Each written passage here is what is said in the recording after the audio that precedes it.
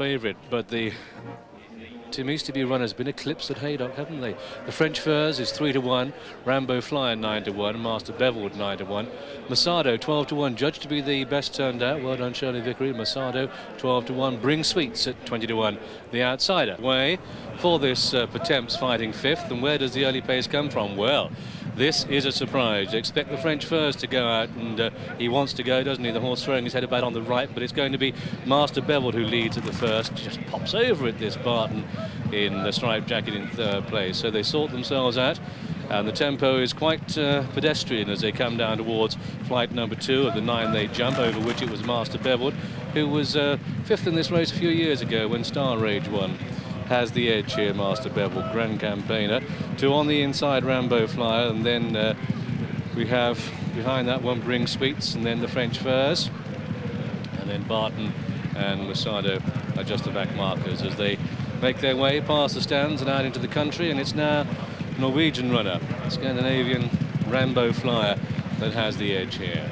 Two Master Bevelwood and Bring Sweets, and Barton taking one stride to everybody else's two. Masado on the outside. The French Furze. just goes to show you, expect that to make the running in its last as they swing away down towards flight number three.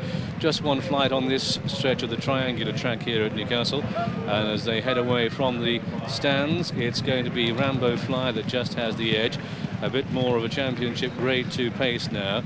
On the outside is Master Bevelwood. Look further left, and the big white face, that's Barton. Left of him, as we look at them, is Masada, and they cross flight number three with the French Furze behind Bring Sweets. So it's Rambo Fly with the advantage. Master Bevelwood sits in second, the winner of uh, five over hurdles. And then Barton, the big horse on the outside, lobbing along nicely. Masado is wide of Bring Sweets and the red jacket, the French Furze. So they come shortly towards the halfway point in this uh, Pertemps fighting fifth. And as they come down to it, it's going to be a line of uh, three with possibly Bring Sweets spearheading the field here to Master Bevelwood and Rambo Fly, who hurdled well. Barton impressive on the outside, bowling along in great style for the Tim Easterby yard. The back marker is the French Furze as they cross the next, over which Rambo Fly rather dived at it but still has pace there with Bring Sweets just uh, spearheading the pack. Master Bevel Barton on the outside.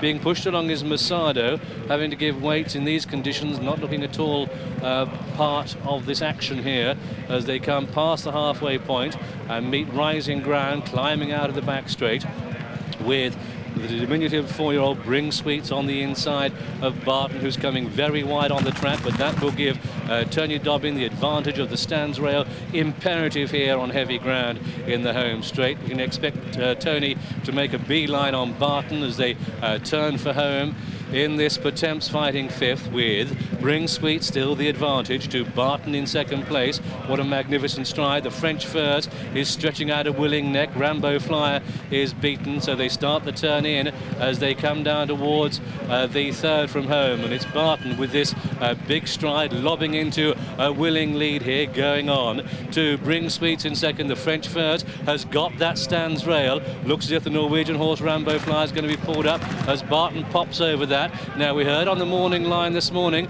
that uh, Tony Dobbin was saying this horse would improve for the run. And here comes the French Furze in the red jacket trying to close, uh, but it's all systems go on him as Barton Springheel takes that. Two in second place, we have the French Furze. He's annihilating the field with one to jump. And it's a power displayed by Barton coming down towards the final flight in the Pertemps fighting fifth. He takes it well and goes on. The French Furze was awkward in second place and tying up and could be Bring Sweets for the forecast, but as he race up towards the line, it's Barton, so majestic. Barton strolls away in the colours of Stan Clarke, ridden by Tony Dobbin, trained by Tim Easterby, the winner of this Pertemps fighting fifth to the French Furze who comes home in second and then Bring Sweets is third.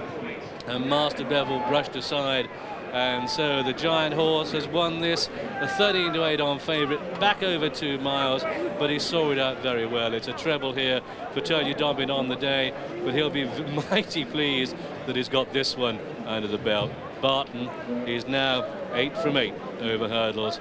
And clearly that's just the answer. Any slight injury, give the horse the time off. He's now only a seven-year-old everything to go for is pricked at the line. 13 to 8 on favourite, ridden by Tony Dobbin.